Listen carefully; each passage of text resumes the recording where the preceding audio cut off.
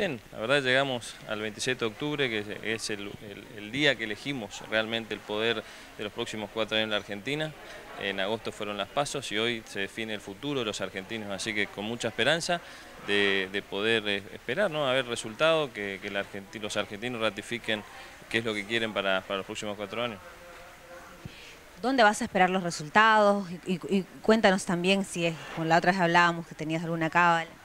No, bueno, ahora almorzar en familia y después ya con todo el equipo de, Juntos por el Cambio, en el búnker como jefe de campaña, estar al tanto de todo lo que está pasando y esperar los resultados, ¿no? que, a las 21 horas eh, dijo la justicia que vamos a tener ya los, primeros resultados oficiales, así que hasta ese momento hay que esperar, seguir de cerca, controlar bien el comicio, que la, toda voluntad del argentino se manifieste y sea respetado y cuidado sobre todo, así que por ahora va todo con, normalidad y muy contento de eso, ¿no? un día más de democracia siempre para festejar.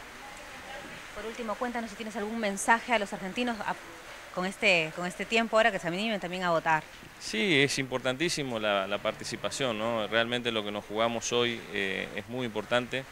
Eh, como dije antes, son los, el futuro de los argentinos, el, poder real de la Argentina se, se, dirime hoy, así que es muy importante la participación y que todos manifiesten, sea cual fuera su preferencia, pero lo importante es que todos emitan su voto.